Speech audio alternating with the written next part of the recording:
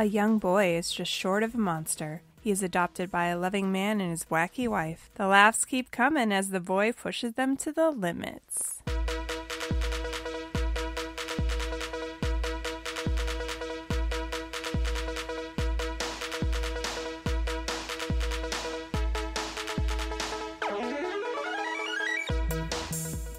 This is Ryan. And this is Ashley. And this is Ruining Our Childhood. a weekly podcast where we remove our childhood goggles and put on our adult bifocals to rewatch and review our favorite movies from the past. Yeah. Hi. Welcome. Welcome. Ah, we said it at the same time. Jinx, now you we owe can't me a talk. Coke. Oh, So that's going to make it for an awkward podcast. yes. Just listen to us breathe.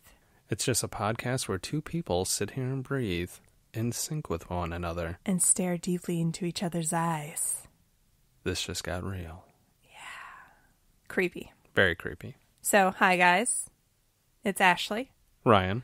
and we're just talking about movies and stuff. And it's a movie that you guys picked Yes, via our poll. I did not think this was going to win, Me neither. but Instagram pulled it out again. Yeah. And if you're somebody that just voted in our Facebook or Twitter poll, well, that's what you get. You should be voting in all of the polls. You Because should you're be probably following- going, I saw on Facebook, National Treasure destroyed Problem Child. Why are they doing Problem Child? I don't know if it destroyed it towards the beginning of the poll. It was definitely leading very far. Mhm. That's not a word. No. And those aren't words that should go together. It was, By a large margin. yeah, it was pulling ahead quite a bit, but then it kind of evened out more. Mhm. I think it was at like 58%. Yeah. And Instagram was very similar. Not Instagram, Twitter was very similar, but Instagram, a lot more people wanted Problem Child. So, So that's what we're doing. yep. And we're th- we had thrown around the idea of in a couple weeks doing a loser poll. Yeah, maybe the absolute, uh, maybe the episode after our one year anniversary Just two, slash, two weeks from now. Yeah, slash 50th episode. Yeah. I can't talk. No. Episode. Yeah. 50th episode. Got that 50th episode coming up. Yeah. We're going to go down to Alabama and do the episode down there. No, I felt like it was a little more of a Baltimore type accent, like Kathy Bates did in the circus season of American Horror Story. Oh, God. Yeah. Uh, That is a nightmare. It was really hard to watch sometimes because that accent is just so particular. Yeah. Kind of a grating. I'm sorry if anybody's from Baltimore. I, ho- I hope you don't sound like Kathy Bates pretending to be from Baltimore. uh, so, mean. today we are doing the 1990 classic Problem Child, Yes. starring John Ritter and other people. I'm not even going to look because it's Yeah. been a really long time since I saw this movie, but I did watch it quite a bit. Yeah, when I was a little kid, I watched it quite a few times. Yeah. But John Ritter's the, The main. draw. Yeah, was the main person I remember. Same. Yeah. Unfortunately, he died way too young. Yeah. Quite quite sad. He was hilarious. Go ahead and hiss with some 1999 fact or 1990 facts. Hi. Yeah. We're going to go down memory road.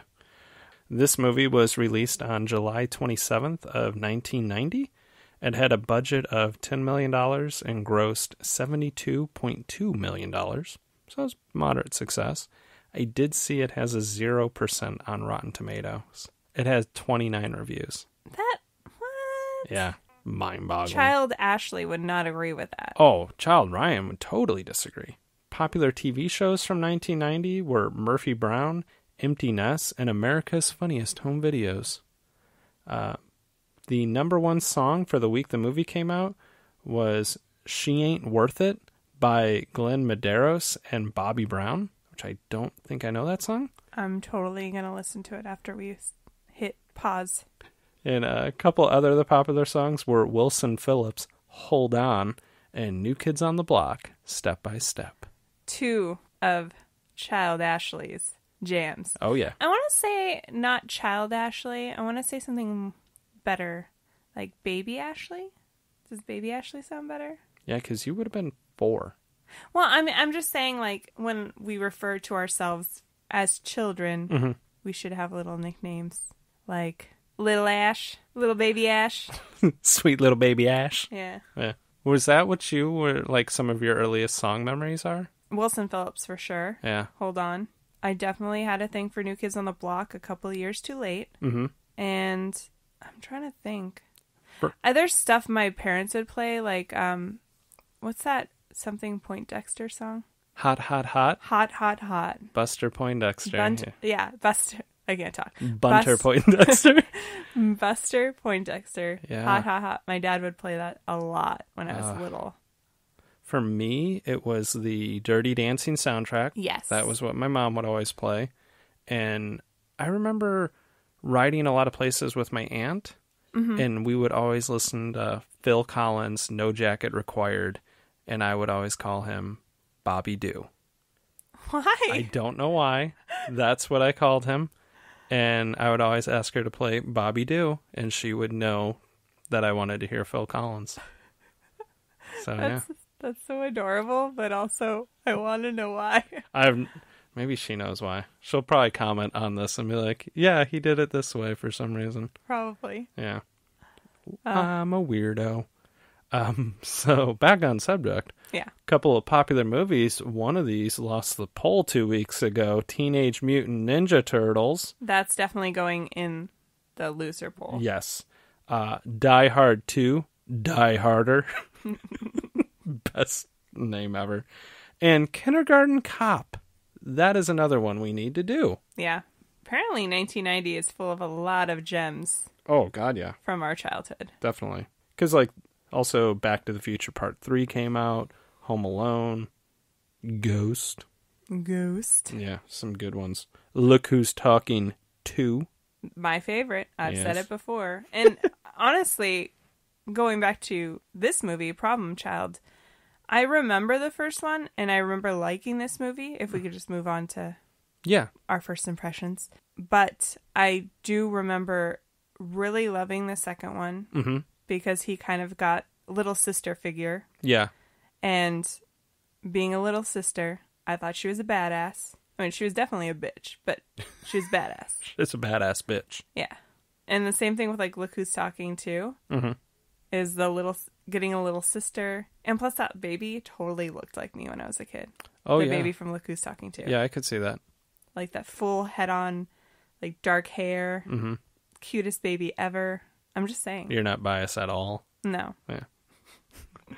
For me, I do not think we saw this in theaters. No. When I was a kid, we we went to the movies probably a few times a year. Like I remember seeing Hook in theaters and Home Alone, but we weren't going every week. So I would assume we rented it, but I remember watching it multiple times because I want to say at some point this kind of became one of those USA movies. Exactly. Yeah. Yeah. where they would play this and Crybaby Yeah. all the damn time. So I watched it a ton. Yes. Going back to how I mentioned John Ritter, I remember watching reruns of Three's Company when Mm-hmm. I was a kid. So I probably didn't know a ton of actors, but I knew who John Ritter was. For I didn't know his name, but I knew who he was. Yeah. What I remember from these movies was that his wife, his real life wife, Mm-hmm. played his wife in the first movie, Yeah. but she's a bitch. Yeah. And then in the second movie, they just recast her. Which is insane. Yeah, and she's the mother of the the little girl. Yeah. So, and I remember being really confused when I was a kid, but then also like whatever. Hey, it's a good movie. That's all I care about. Yeah. So, do you think this movie's going to hold up? I'm going to say yes. Okay. I love John Ritter. Like I can't emphasize that enough. I think he was probably the first celebrity that passed away that I actually kind of was really sad about Yeah. because I was watching his show at the time and then like knowing how he just like abruptly passes away. Right. So I always really liked him and I think he's going to kind of be the driving force that's going to hold up more than anything because I know some of Junior's antics are going to be real cheesy and dumb to me as an adult Yeah. but it was the same stuff that as a kid I loved and thought was hilarious. Right. So I'm I think it's going to be close, but I'm going it's going to hold up. I don't really have a lot of memories from this movie as far as knowing exactly the plot, other than they adopt this kid who ends up being a total nightmare. Yeah. So I'm going to say it's going to hold up too, just primarily for the fact that you said because John Ritter is, he was good at what he did. Yeah. And I'm hoping that the jokes will be funny and like relatable. Mhm. And like you said, it will probably there'll probably be some really cheesy, crazy, unbelievable parts, but Yeah. I think overall it should still be like an enjoyable, funny movie that I remember from childhood. Yeah. Exactly. Yeah. Or at least so, fingers crossed. fingers crossed. Because now that I think about it, this has to be one of like my earlier movie memories. That was probably a non-Disney movie. Yeah. Like this would be up there. Definitely. And like you said, I I remember watching it on USA, Mm-hmm. this in the sequel, and then the third one. Which, Which- had no one. Right? Yeah. It didn't. I hated when movies would do that. Yeah. Like Home Alone three. But Like, I get like you don't have Kevin, but I think I would have did okay if they had the same parents. Like if they would have had Catherine O'Hara and John Heard in it. But it's when they do those shifts, like you couldn't at least keep John Ritter around. right. I think I saw the third one one time. I saw it a couple times. Yeah, I just hated when they do that. I mean, I get it because kids tend to age faster, Yeah, especially when they're going through puberty. Mhm. So if they're in that age frame where it's just like all of a sudden they look like mini adults. yeah, So I, I get that, but I remember when they were having a bunch of rumors about recasting Harry Potter, like midway through the, the movies. Yeah, Really? because they were worried the age, even though age differences weren't even that bad. No. Like they're like two years older than what they were supposed to be. Yeah, But I think they were worried about puberty. And honestly, like I'm looking back, having watched those movies so much, like there was never an issue. yeah. No, they aged very gracefully. Daniel Radcliffe still kind of looks like a child sometimes Yeah. when he's not when he doesn't have facial hair. No, but yeah, they lucked out and they picked mainly three kids that didn't have real awkwardness like Emma Watson really Rupert did. Grint did a little bit. A little bit, but Yeah. I know what I looked like when I was going through it and I got chubby and Yeah. Yeah. But it's relatable Yeah, too. that's true. You know? Yeah. That would have been very weird if they recast those movies halfway through. I don't think they would have been as successful. Yeah. There was people that probably would have gone, I'm not going to go see those Yeah. now. And I wouldn't blame them. Same. So we are just about to hit the pausey pause, but we'll go ahead and let you know where you can watch this if you mm-hmm. don't own it, which we actually don't, but it is available on the Starz app if you have Starz, or if you have the Starz subscription through Hulu or Amazon, it should also be there. because we learned last week we talked about it before we paused what we asked do you get different movies if you have it through hulu or if you have it through prime and sure enough we went and looked and the movie wasn't available for us Yeah, I think the website was just wrong because it just listed Starz on Amazon mm-hmm. and it didn't li- like this one on the website actually says Starz direct TV also and then Starz on Amazon. oh okay So it should be available, but I think the last one maybe that movie was on there at one point and then maybe they didn't update it on their website. I don't know. It's annoying. it is But I did check this one the other day oh okay and so, it is on Starz. so we're sure for sure going to watch this and not having to pay Yes. yes It's always a good day when we can do that. Um, so I guess we'll go ahead and hit the pausey pause and come back and talk about Problem Child.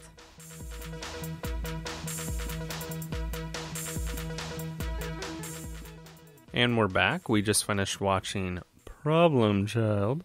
We're going to go ahead and break down our movie like we always do with our categories. And we're going to kick it off with a little one called Well, Hello There, where we talk about any cameos of famous or recognizable actors or actresses that we forgot were in the movie. And who did you have?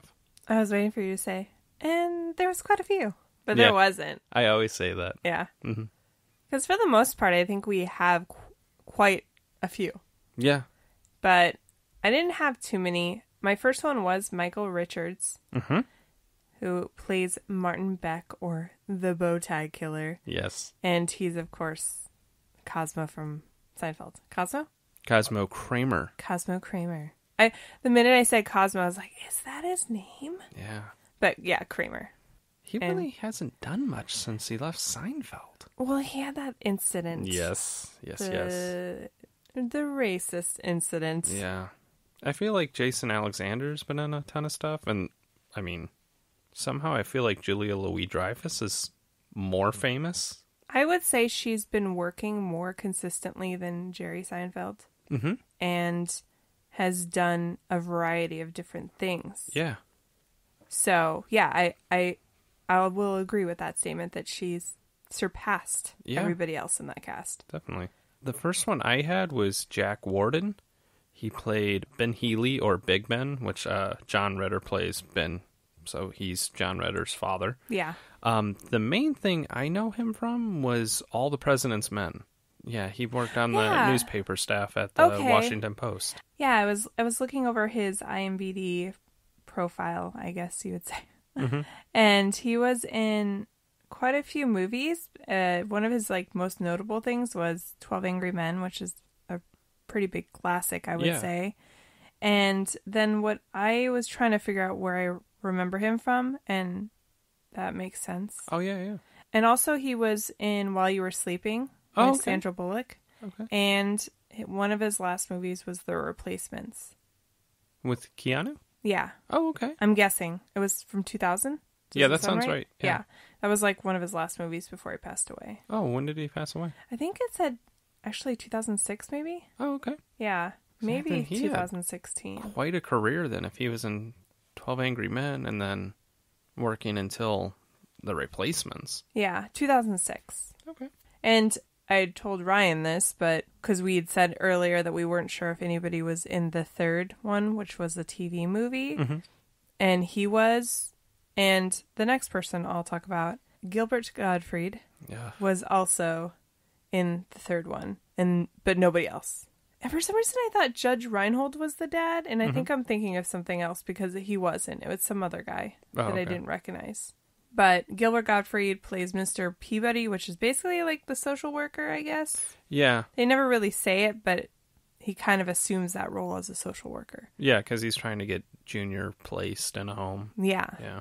And then obviously Gilbert Gilbert Gottfried uh, has been in a ton of things. He was on SNL Yeah. in the 80s and voiced a character in one of my favorite movies, Aladdin. He was the voice of Iago. True. What were we watching the other day where he calls somebody Iago? And she was like, Oh, I didn't know you'd seen, seen Othello. And he was like, I was talking about Aladdin. was Brooklyn Nine Nine. Freaking amazing. She's like, "Oh, I'm impressed. You." You And know he's like- Shakespeare? No, I'm talking about the parrot from Aladdin. That movie's hila- our show's hilarious. Yeah. Um, We're a little late on the party, guys. We yeah.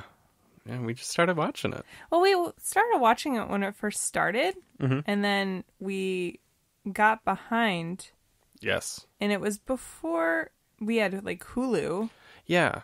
It was back if you got behind and you didn't have it on your DVR, you had to pretty much wait until reruns started airing Yeah, or buy it. yeah. It seems like so weird now, but Yeah. it's such a thing that we don't have to deal with anymore because most TV shows are accessible, or you can at least buy them if you want. You Yeah. know, but No, and you were screwed back in the day. Like if for some reason your DVR turned off and you missed an episode and it's episodic television, you're like, I can't watch. Uh, yeah. I'm not gonna know what's happening. And I'm I'm the type that I need to watch in order yes, and I need to watch all of it. Especially dramas where there's plot lines over multiple episodes, so I don't want to be confused very much. So. or I don't want to come in the middle of something. Yeah, no. Whereas like comedies, I think you can get away with just catching one. Yeah, because unless it's the season finale Yeah. where they're wrapping up storylines, like usually a random episode in the middle of a season, you're not gonna miss out much. Yeah. Um, But anyway, back to prom Child. the, Did you have anybody else? Yes. Uh, the next person I had was Amy Yasbeck, Yes. who uh, she played Flo Healy, who was John Ritter's wife in the movie. Um, she was on Wings when I was a kid. Yes. I like and uh, we talked about she eventually married John Ritter, and I, was I his wonder wife how long they were together. They got they met on the set of this. I read, Oh, and okay. they had a kid. In like '98. Yeah, and got married in '99, and then unfortunately he passed away in 2003. Yeah, I for some reason I thought they were married a lot longer than they were. Because I assume they had gotten married in the early '90s, Yeah. around the time of this. Yeah, Right. no. I always liked her, and I liked Wings too. But Yeah, Wings was a good show. Love me some Steven Weber. Yes. Yeah. I do want to check out that new show with him and um, Adam Pally and Oh. Fran Drescher That and Abby Elliott. I'm like just all naming all the people. Yeah. I love Uh, me some Adam Pally. Anyway, we're really getting off topic. Let's just talk about TV, guys. Um, Have you guys seen this show called Law and Order? I just watched it for the first time. It's amazing. what is it? Your parents? Yeah, my parents just got into it like three months ago. Uh, Good news, Mom. There's 500 episodes you can watch. yes. You guys have TV for the next decade, And SVU just got picked up for another three seasons. So which is insane. yeah, Um, it's it's gotten so kind of cheesy, but I still find myself watching every single episode Yeah, just because Mariska Hargitay. She's she's amazing. I'm amazed she hasn't left, but I'm thinking she also makes upwards of probably a half million dollars an episode. So why really- would you leave? I mean, she really believes in like what they do, like what Yeah, real poli- backlog and yeah, st- and yeah. kits, she yeah. has the that foundation hmm to help end the backlog. So yeah, definitely. again, tangent into TV. Did you have anybody else after that? Because I don't have. The last one I had, which I don't know how many times I've seen this movie, but I never recognized Kerry Von Erich played an inmate. And Kerry Von Erich was a pro wrestler when I was a little kid. He had a motorcycle accident where they had to cut off part of his leg. So he wrestled for years with a prosthetic foot and nobody knew. Oh wow, Yeah, he was a really good wrestler. What was his wrestling name? Was it just He was uh, when he wrestled like in Texas. He was he wrestled under that name, but when he was in w, WWF, he was the Texas Tornado. Oh, But ironically, he killed himself to Oh. avoid going to prison. what did he do? I was, I think, prescription drugs. Oh, They have a incredibly tragic family line. Like, mm, I think three of his brothers killed themselves. They were all wrestlers. They were all very good wrestlers. He beat Ric Flair to be the world champion at one point. Like they were good. yeah, So yeah, it's a real tragedy down there. interesting and crazy. Yeah. And yeah, I wouldn't have. Looking at the guy, Oh, he did look like a wrestler, but He you know, a lot hell. of people in the late '80s and early '90s, everybody got really into bodybuilding. yeah. Do you want to move on? Yes.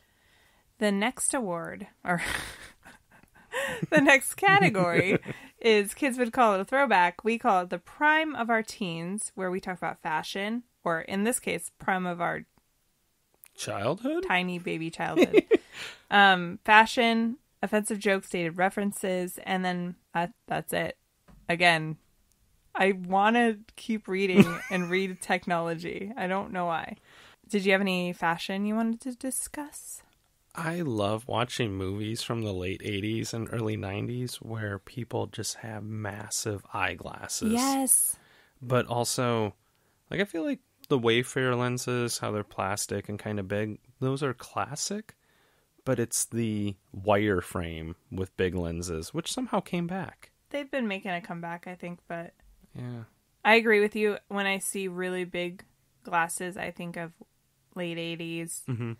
The thing I noticed was in the first scene where Flo and Ben are at the doctor's office, basically getting tested to see if they can have kids. Mhm. Flo is wearing this very bedazzled sweater. So many beads and gems on her sweater. And then her hair, just the way it's coiffed up, is very, very 90s.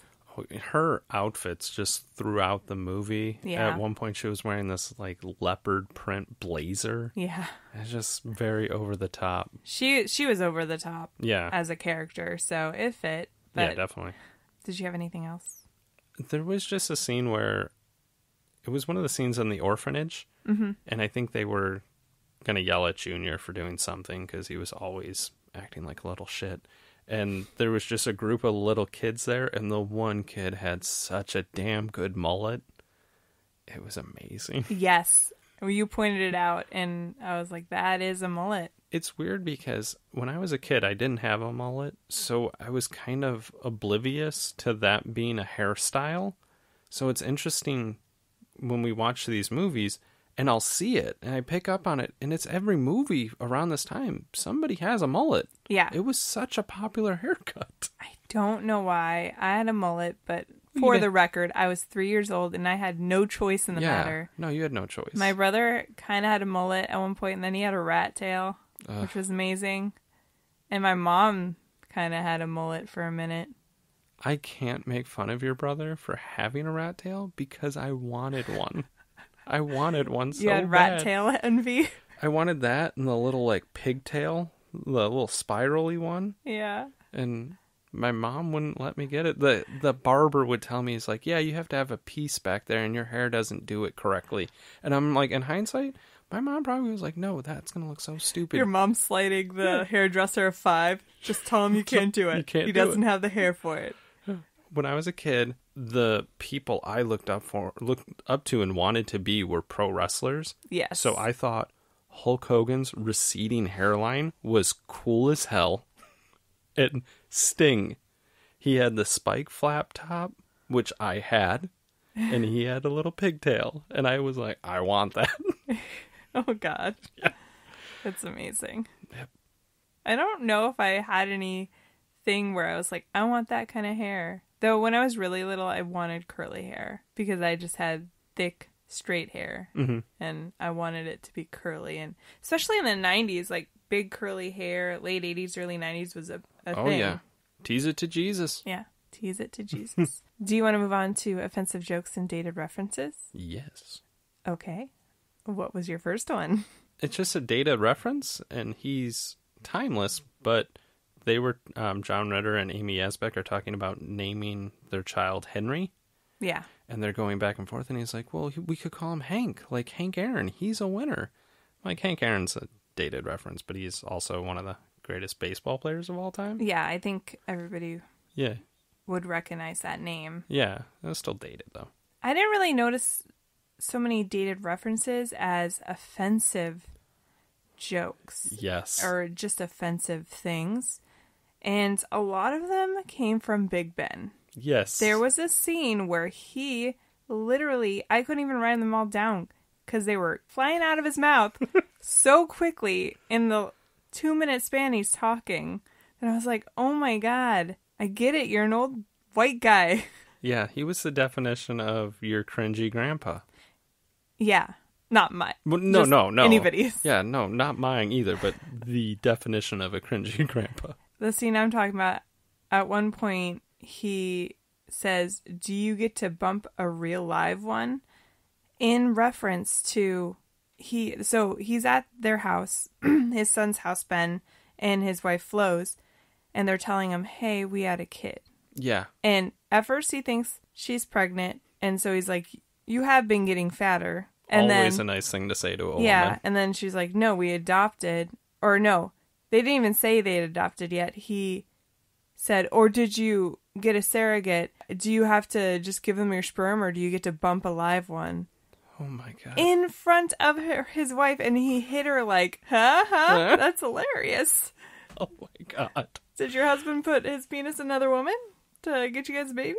Is I that- I must have been typing because I missed that. That Holy I mean, crap. it was so many lines all in once, and then he kept going. But I was typing out this one because I was like, "Whoa!" I did catch at the beginning of the movie when I think it might be the one of the first times we see John Ritter. He's going to meet with him at the sporting goods store that he owns, Yeah. and he tells him, "I'm selling the store to the Japs." Yes. Always that ages well. Yeah. I mean, it could have been worse, but still, yeah, still not great. no, Not great. no, And then Junior, at Yeah. one point, uses the R word, which we've discussed multiple times on this podcast. That it's just not something you should say. no. ever. And it came out of a seven year old's mouth. So freely. I noticed also the little league team names were the Braves, which I mean they keep trying to get them to change their name Right. as they do with the Cleveland Indians, and the other team's name was the Chieftains. Like you couldn't get any other baseball name? I was like, the Like real- Yankees and Red Sox. Do Couldn't, they have to pay to use Braves? They might have. I always wonder that, like in when you're in Little League, you know, hmm a, a lot of teams used um, Major League Baseball team names. Yeah, I'm thinking the logo would be trademarked, but I don't know that you could trademark Braves. I don't know because when my brother played on a little league team, my parents were the coaches and they were the Giants, and it was the same color scheme, Mhm. and I'm pretty sure it was the same logo. But I don't know if it's just like who's gonna hunt down a bunch of little kids and be like, "We're gonna sue you." when I played in Ohio, they were generic. It was like whoever sponsored the team, that was your name. But out here, we were the Indians, and we had T-shirt jerseys that were legit the same font the Indians used, and we had the hat with Chief Wahoo on it. And the other teams in the league were the Yankees, the Red Sox, Dodgers, Diamondbacks. Maybe MLB sponsors it. That's true. I'm sure it's like good publicity for you, you know. Yeah, that's So, true. But yeah, not a good name choice. No. Did you have anything else? And as far as the offensive jokes, Uh, The only other, and it was more of a dated reference. It's Ben's kind of going crazy, and Junior's left with Martin, and he comes up to the door, and he's gonna go into Junior's room, and he's just like on a rampage, and he just walks up, he's like, "Here's Daddy," like Oh. it's The Shining. yeah, So it was funny more than anything. that was a, that was a good one when he starts cracking. Do you want to move on? Yes. Uh, we're going to go ahead and unveil our ginormous scoreboard with a 25 foot tall representation of Big Ben on the side of it and talk about some technology. That was It was amazing. that was amazing and on par with his character, so Yeah. made sense. The only one I really noticed that was kind of distracting was when they decide to adopt Junior, they mm-hmm. go to the orphanage that he's at, and Ben has a huge camcorder and is recording Junior Yeah. like as he's coming up to them. And just just that camcorder was very, very large. It was funny because he had that, but he also had a normal camera, Camera. around his neck too. That was a good sized camera, but it just looked nice. He's So really he- enthusiastic. Yeah, he had these massive technology. The uh, the other one I noticed was it seemed like every time they showed something on TV, for the most part, it was a black and white TV. Oh, Like when they showed Martin when he's been arrested and he's being led like doing the perp walk basically Yeah. past all the cameras. It's in, on a black and white TV, and I know it's like Junior was watching it in, a, in an orphanage, so they don't have the top of the line technology. yeah, but I felt like later on in the movie there was also like another scene where he was watching a black and white TV, and I'm going, "It's 1990." And it seems like, for the most part, Ben is decently well off. yeah, Though I feel like his dad keeps him not too rich. yeah, no, definitely. He's definitely at the whim of his father's discretion, but But then, like, also he even mentioned his dad hadn't given him a raise in 10 years, and but he lived in like a nice suburb, yeah, uh, had a nice house. yeah, for sure. Yeah.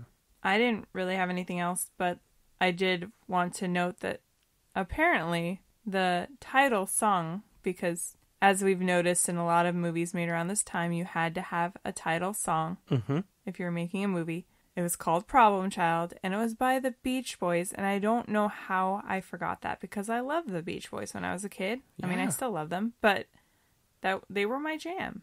What's amazing is this would have been right around the time they had the resurgence with Kokomo, Yes. so that was probably a good get for them. Yeah. is getting the Beach Boys to do this theme song, and it's a terrible It's song. not good. it was awful. That's probably why I didn't remember it. No, I Other than in in it, there's kids saying "nana nana nana," which Ugh. automatically dates it for me.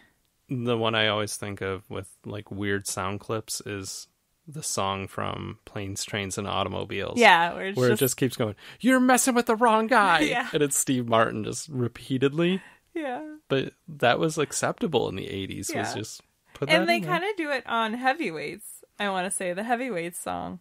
Okay, I could see that. Yeah, which we've done is an episode of ours. If this is your first time listening, It's available in the archives. the archives, Yeah, I don't know. They always deep, say deep archives. on um one of the podcasts. They always, if they ever reference a show they have already done, he's like available in the archives.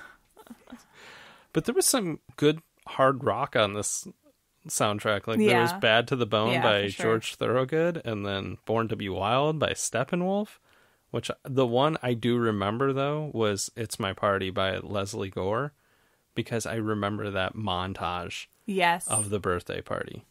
that might have been like the first time I ever heard that song. Probably, yeah, probably for me too. Chew, Yeah, chew, me chew. me chew. Gesundheit. Uh, did you have anything else to talk about in the technology? Mm-mm. Okay, we can move on to Is It Even Good?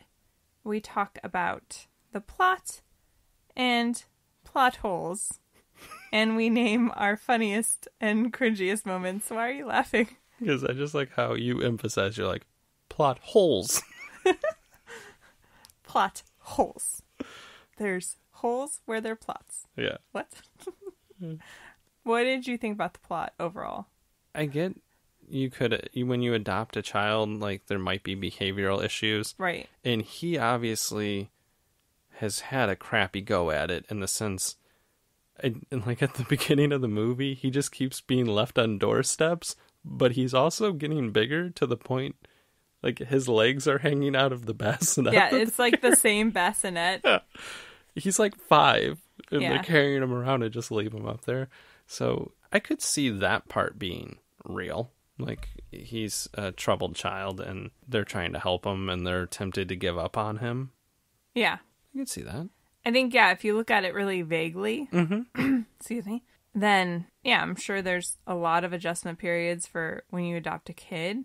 I feel like the way people just like freely gave him away though is kind of shitty. yeah And and the way he's being left is just they're leaving him on doorsteps and Yeah. these people aren't calling the authorities they're just like wow we'll leave him there yeah, it's it's almost like a plot hole that where are you placing him in this house and then they're just leaving him yeah instead of calling the social worker, Mr. Peabody, mm-hmm. and going, "Yeah, this is not going to work out." if somebody leaves a child on our doorstep tonight we're not just gonna be like well i guess he's ours And also, I guess if we don't want him, we'll just leave him on somebody else's doorstep. tag you're it ring Yeah. the doorbell and run away nowadays you can't do that people have ring doorbells That's true. You'd be on camera, and people would have figured out who you were in like ten minutes. yeah But yeah, I mean, it's kind of over the top the way the movie is presented. But um, what do you think about? What were some of the plot holes that you noticed? the one that just stuck out to me was that when junior's in the orphanage he, they have pen pals and there was kids writing to queen elizabeth and somebody else really famous and he's writing to a murderer Yes. i was a murderino shout out to georgia and karen at a very young age i was fascinated by them but i was not pen pals with jeffrey dahmer Right. And even if you tried to be, somebody like your mom or dad or the nuns at the orphanage would go, "Yeah, I'm not going to send this letter to the penitentiary." yeah we're not we're not mailing this one yeah. That's that was definitely my first plot hole. yeah Not so much that he was writing a letter because he did have an interest in his the bow tie killers whole thing. He Mm. that's why he started wearing a bow tie. But yeah, And there's he no way also, that it seemed like, didn't know that he was a murderer. He just saw him on TV and was like, he's a good looking guy and he's wearing a bow tie. I can do that and people will like me because look at all these people outside taking pictures of I, him. I feel like he knew that he was different, and at one point he yells out, "I'm just misunderstood." The Mm-hmm. Michael Richards, yeah, Mar- Martin. Martin. I think he had identified with that. He's like, "Yeah, I'm not bad. I'm just misunderstood." Not probably connecting that he- the guy's murdered a bunch of people, but that he's just being put down because people don't like the way he does things. Yeah. Not like no, he's literally murdering people. but luckily, I mean, at a seven-year-old, you're not thinking about murder. But I mean, there he does some things that would set him down that path of being a serial killer. Yeah, he was a special one. Yeah. I felt like the bow tie killer, Martin, Mhm. escaped very easily from prison. And I'm like, what kind of low security prison did you put this serial killer in? The way he gets out was he was doing like the ink blot test. Yeah, with he's a talking to his a psychiatrist. psychiatrist. He like punched the guy in the face, and the next thing you know, he's driving out in a car. yeah, and I'm like, the warden was just in the room. Yeah, How is there not a guard outside the room? and he's famous and recognizable. He's not just going to be able to walk out. Somebody else is going to be like, "Hey, ain't that Martin? You know, he just put on a coat and a fedora." Ain't, ain't that Martin? I Uh, like how he said, I, I don't think that's the psychiatrist. yeah. That one was pretty good. Hmm. What was your next one? I caught in the movie like he uh, Junior steals money out of the grandpa's wallet when he gets like taken to the hospital, but later in the movie to punish him, Ben's like, "You need to give me back your allowance," and he had given him a dollar. Yeah. So he opens up a drawer. There had to have been five hundred dollars in that drawer. There was hundreds, and I'm going, where did you get all this money? And is there like maybe a cut scene where he was swindling people? I just assume he got it in various ways. They're just like, we're not going to show you. We're just going to hope you assume that he's smart enough and he got it in different ways. Maybe maybe he's taking from Ben's wallet, like little Ben's wallet. Yeah. No, I I could see it as a small plot hole. Mhm. Um, at one point they're camping with the neighbor Yeah. who is kind of a dick, and he said dick to little Ben because he's always just like, "Oh, it sucks you're not a dad," you know, makes him feel shitty. But they're all sitting around a campfire, which is very very small, but they're sitting so close, and I'm like, "You guys are gonna catch on fire." Yeah. They were right on top of it. Yeah, And then Junior was nice enough to pee on it. yeah, as you do. But then the next scene, the fire was lit again, which I thought was that was like a continuity error. Yeah, definitely, I definitely. was like, um, That's a that good was point. Weird. yeah. The one that I thought of, it's not a plot hole, but it didn't make sense. He's at that little brat's birthday party, and he go like they were a holes to him, and I think he was justified. By the way, for his actions, he was a little a little over the top, but he was a, they were really mean to him. No, they were. But where were the parents when he just is chucking every birthday present into the pool and switching out? Where did he get fireworks to switch out with the candles? And nobody's watching him? He's a resourceful child.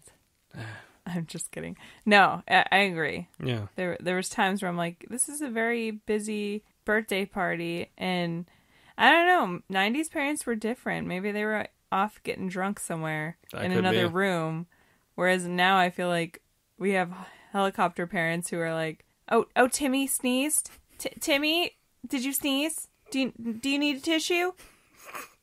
Uh, Don't don't walk over there. Don't walk over by Alyssa. She she has a cold. yeah. Like- Get away from Braden. Yeah. That's my favorite dumb kid name from the early 2000s. And we apologize now if your kid his name is Braden Sorry. or Caden or Caden. any sort of Aiden that's Well, Not we like we like Aiden. Aiden. Yeah, we Yeah, I like, like Aiden. Aiden. Yeah. Madison. That's that's one of those. I feel like they use nowadays. It's more popular. yeah. Sorry. Which should be noted, we looked it up one time, and the most popular girl's name from 1986 is Ashley. Yes. And I'm sure Ryan was probably like fourth for 1984. Yeah. So we're knocking these kids' names, but hey, we, our parents were totally basic and picked names that were pretty common. And both of our our parents came from Catholic families, so Mhm. their names were all Yeah. very just basic Catholic names. It's funny because the name of my mom, you have an aunt with that name. Yes. The name of my aunt, you have an aunt named that. Like, I'm pretty sure there were six names that you could choose from if you're Catholic and no, your your family. Those are like 1950s Catholic names at 101 yeah. right there. For sure. I think the only, I, the last plot hole I really want to talk about was so at the end of the movie, Marty comes to find his pen pal and realizes it's a seven year old. Mhm. And he has sex with Flo. Mm-hmm. and they run away together technically, but he kidnaps her and Junior and tries to get a ransom from Ben. And he puts Flo in a suitcase at one point because she's bitching. And go figure, she's bitching that she's being kidnapped. How And- dare she? So she's in the suitcase for who knows how long. It's during the whole time that he's meeting up with Ben to get the ransom money. Mm-hmm. And she's in the trunk.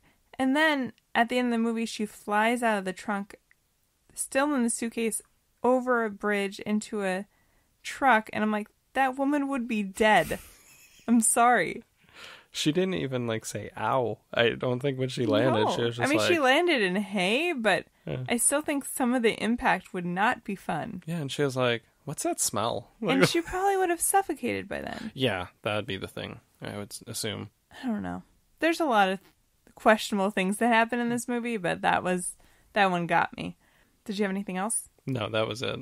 What was your funniest line or moment? There was some good chuckles in this movie for me, and even some of the cheesy stuff that Junior would do kind of made me laugh. But I like when uh, Flo and Ben have reached their end and they are like, we have to get rid of Junior. Yeah. So he takes Junior to a church because he wants to talk to the priest and have a confession and talk about this. And early in the movie, Ben's at the sporting goods store, and he this kid asks him, "Do you guys sell canteens?" And he takes him over and he shows him where the canteens are. But when they go to the church, that boy is an altar boy at the Yeah. church, and he's like, "Hey, do you remember me?" And he tells him that story, and Ben just was like, "Blow it out your ass, kid." Yeah, because it's like in that first scene where he's talking about the story, he's really nice, and mm-hmm. it's like showing how much he wants a son, and he's like, "Oh, this kid's so nice, and I, I want a kid, I want a son like this." And then it was funny when the kid was like, "Hi, Mister, do you remember me?"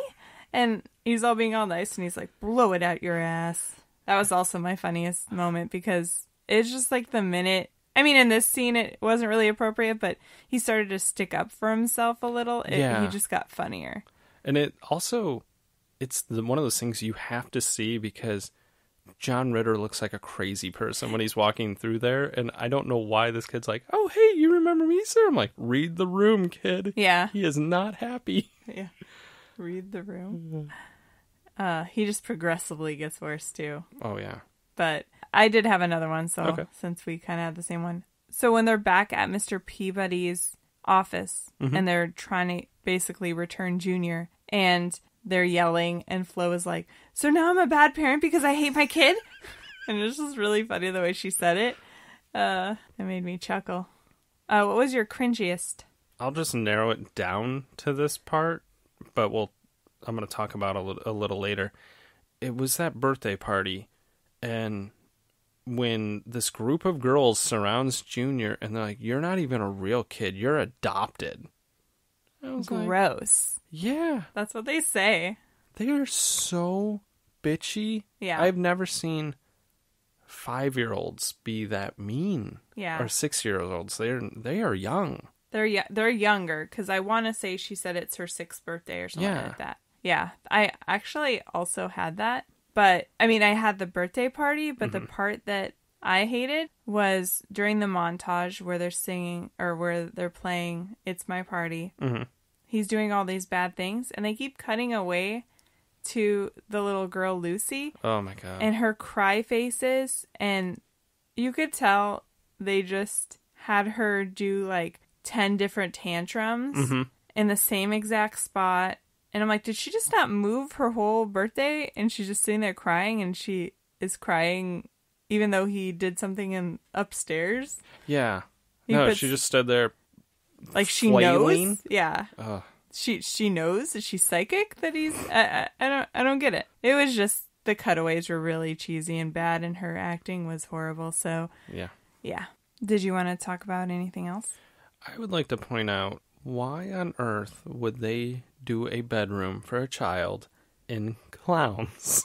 i don't know if it was meant to be like these people have no clue what it's like to be a child or they're also psychopaths and they're like this what is the one thing kids hate clowns, yeah I that was room is terrifying. I was thinking about when I was a little kid and I would spend the night at my aunt's house. She had two twin beds for us to sleep in. Mm-hmm.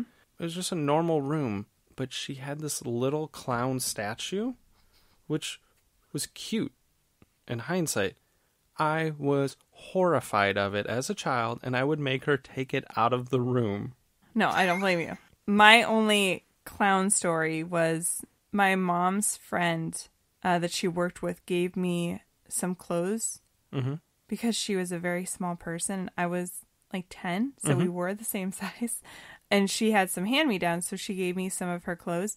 And she also gave me this clown. Mm-hmm. It had a porcelain face, and it was a wind up thing, Mm-hmm. and it would move its head back and forth Oh God. creepily. Well, I liked it for a second and then it freaked me out, so I put it in my closet. Years later, maybe not years later, maybe a year later, Mm-hmm. I am sleeping in the middle of the night and all of a sudden I hear the music. Did you burn down your closet? The next morning, I dug out the toy Mm-hmm. and I was I gave it to mom. I was like, I don't want this. I'm donating it. I'm getting rid of it.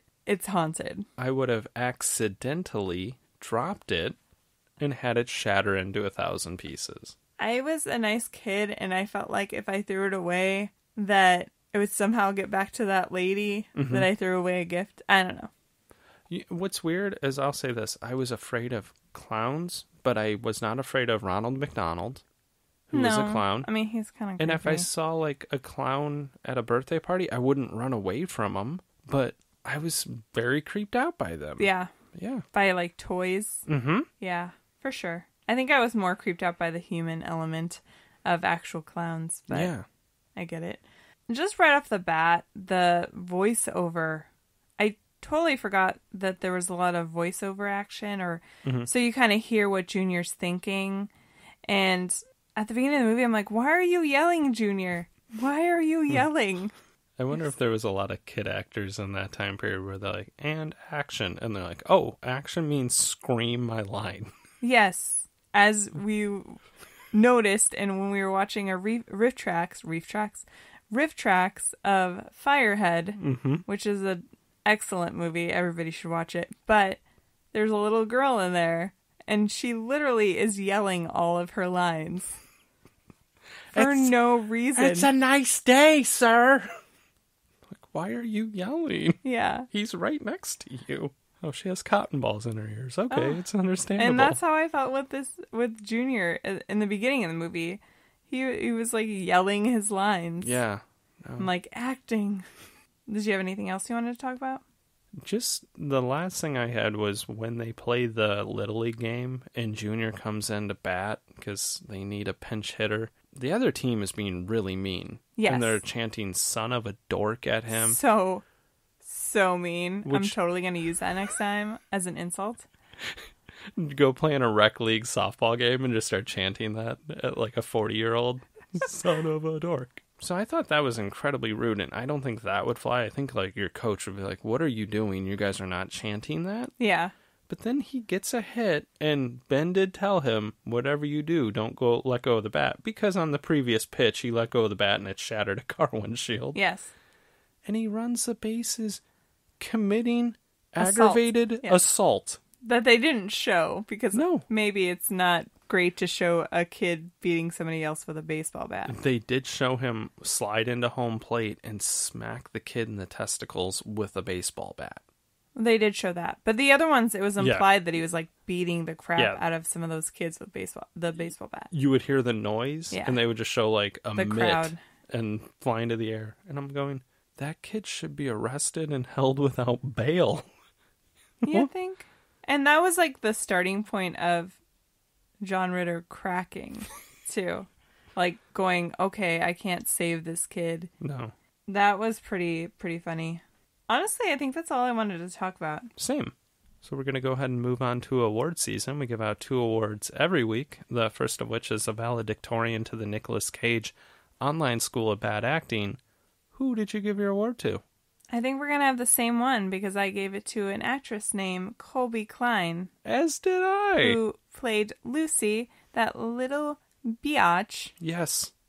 who called the first meeting they have. She calls him gross because he's adopted, Yes. and her mom seems perfectly nice. Mm-hmm. So I'm like, where do you get this bitchy attitude, little girl? Oh, she had the most go to hell attitude of a five year old Yeah. ever. And she wasn't convincing. Her line, she, if you thought Junior yelled his lines, she also, I yelled her lines. She was like, Hold my milk, Junior. Yeah. I'm gonna scream And- mine. Honestly, I chose it purely on that montage of him ruining the party Same. because her hissy fits were so bad. Ugh. I think they had to put music over it because they're like, the tone of her cries are probably not convincing. It was like nails on a chalkboard. I honestly don't know that I've ever wanted to go punch a child so much as this little girl. Yeah. She was the fucking worst. She was. She Yeah. was the worst. And I mean, just to be have clarity, I was gonna give it to Michael Oliver, who played Junior, Mhm.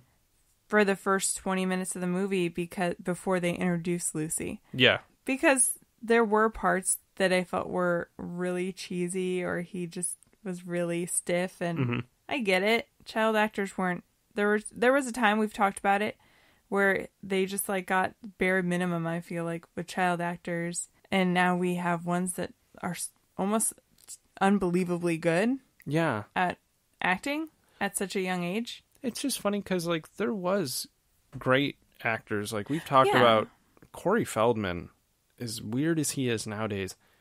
Go watch him in the 80s. He was a very, very good actor for a child. Macaulay Culkin was a good actor. I did read he allegedly auditioned for this movie, and I would wonder what the hell your casting director was thinking. They wanted somebody that that was like a redheaded little devil child. That that can only be it because they said Macaulay Culkin was unknown at this time too. So you went with him? But I will say, the further into the movie, I feel like maybe he got more comfortable or something. And mm-hmm. I thought some of his lines they were entertaining, they were funny, and he he did fine. Yeah. So that's why I give it to this girl because I think overall he was watchable. Yeah. It wasn't like I was like I want to stab this kid. No. No, he's got his moments, especially like he does well at delivering a lot of the humor. Yes. But yeah, no, she is overacting beyond belief. And there was a the scene where he is in the confessional Mhm. with John Ritter. John Ritter thinks he's talking to the priest, but Junior is on the other side. And then he leaves and he's like, Don't get rid of me. And he actually had like tears down his eyes. I don't know if they were real, but they looked convincing and he had a little pouty face. It was really cute. Yeah. So that was like convincing. Mhm. But we can move on if you want to. Yes. The next award is the Thomas J. Hanks Award for Exceptional Acting. Who did you give yours to? I gave it to one of my early childhood favorites, John Ritter. He's like all American dad for the first 40 minutes of the movie, and then when he cracks, he cracks amazingly. but uh, the thing, like, it was some of just like the easy touches that the director would do was he wants to be such a good dad. He's always reading these parenting books, like just subtly. They don't really emphasize it, but he's like, be, it's a book called Be a Good Dad. Yeah. And then when he cracks, he's reading The Exorcist. Exorcist. Yeah. So it was good, and he is far and away the best part of this movie. I agree. I think there were a lot of over the top performances Mm-hmm. because it's supposed to be this zany family comedy. I question whether this is truly a kids movie, but we can discuss that in a minute. I also gave mine to John Ritter, and I felt like the first 30 minutes or so, he was kind of this pushover. He had a shitty dad, his wife was kind of shitty, and he just wants to be a dad. Yeah. And then when he cracks, he also starts sticking up for himself though. Mm-hmm. So like it's like Junior brought out the side of him that where he needs to be strong and he needs to stand up for himself. So he he screws his dad's campaign. Yeah. I felt like it wasn't justified that he just left his wife though because she was shitty and she did cheat on him, Mhm. but he did, technically didn't know that though they were doing it in the kitchen in the next room where he was, and he was already cracked, Yeah. so he wasn't even like all there. But Oh. I, I thought he was good overall, and especially in those last few scenes where he was funny, stronger. And he has a nice arc, like you said, like he wants to be a dad. Junior's a shithead. He blames himself and tries to figure out what he's doing wrong and how he can help him. He reaches his breaking point, goes crazy, and then, you know, comes back around and is like, No, I love this kid and I'm not gonna give up on him. So Yeah. he is like this really nice arc Yeah, in a kind of a weird movie. for sure. I agree. Do you want to move on? Yes, we shall. So, yeah. What do you think? So I just wanted to pose the question of, and I had to look it up. Okay. I wanted to know the rating of this movie and who it was geared towards because obviously we saw it as a young age and it is PG. Which is insane. Yes, completely insane. And it also says it's a family movie. But if you break it down in the sense that there's a serial killer, Mm-hmm. which I mean, I guess there's a serial killer technically in Addams Family, the second one, but it's a woman, so it's okay. That was a joke, by the way. serial killer. Mm-hmm. There's sex. They Mhm. don't show it a lot, but there's it's still there. There's at one point when he's snapped, he does contemplate suffocating Junior Yes. with a pillow. Mm-hmm. And yeah, there's so much going on in this movie that I don't know how it got a PG rating. If it was made today, It's got to be PG thirteen. at least. Yeah. And there was like some cussing in it. Mm-hmm. He tells a kid to blow it out his ass. Yeah, that's true. That happens. As far as uh the movie holding up, Mm-hmm. I don't think it does. Okay. I disagree. Okay. I think it's close. I do think there's a lot of cheesy cringe, and like we talked about, a lot of the acting is very over the top. Yeah. But I thought there was enough funny parts that it kind of balanced it. I would say. Right. Like I don't think it's by any means, you know, whatever you would call the greatest comedy of all time. But I agree with you. I don't know how this was really acceptable viewership for us as children. Right? And I remember watching it a lot. Yes. Exactly. Not to say that I wouldn't like let a kid watch this, Mhm. but it's just to me, I think we water down down things so much for kids sometimes now Yeah. on certain themes. Mhm. And violence and writing to a serial killer, I, that wouldn't fly. No. yeah, there's just so many things in this movie that would not fly. I did enjoy it. Mhm. I did think it was an enjoyable watch. It was a nostalgic watch because Yeah. I hadn't seen it in such a long time. But yeah, I just don't think it held up because it was too over the top. It was too cheesy and it seemed way too dated overall. It was almost a little distracting. Yeah. I can But- see that. Like I said, it was close for me, Yeah. But I, I thought there was enough there that I I kept it on the good side of things. Good for you, Ryan. Good for you. I'm Mhm. just kidding. Uh, so that's it, guys. Uh, oh, uh, what were you gonna say? Well, we could ask people if they have questions. We're going to be doing our Q&A episode in 2 weeks. Okay, go ahead and ask them. So, if you guys have any questions you guys want to ask us, anything, Yeah, go ahead. It in celebration Mhm. of our 50th episode. Episode. Episode. Episode. and our one year anniversary, Mm-hmm. we were going to have a couple drinks. And Yes. if you're listening to this now, you're going, Ashley, it seems like you already had a couple. I have not No. yet, but we're going to have a couple drinks, do a little bit of a late night recording Yeah. to answer some questions, Q&A, and just have a good conversation Mhm. with one another. Yeah. And then maybe when you guys listen to it, don't listen to it on the drive to work. Go home, have a nice couple drinks while you listen to the Yeah. podcast. Open up a nice bottle of, I don't know, I'm trying to think of Courvoisier. Daniel could have a glass of Lagavulin whiskey. or some Mad Dog 2020, Oh God. some Some- Boone's Farm, Some Steel Reserve. yeah, some Everclear. I'm just naming horrible things that I put in my body. Hpnotiq. Pucker. I just said horrible things I put in my body, and you didn't say anything. Heyo. Oh god. Oh god. Anyway, this is a train wreck. I'm just kidding.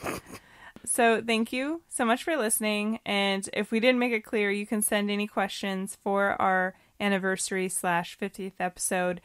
Just DM us on Facebook, Instagram, Twitter, or email us at ruiningourchildhood at gmail.com. Mm-hmm. Over on And Instagram, we're at ruining our childhood. yes, if you're not already on our Instagram, Mhm.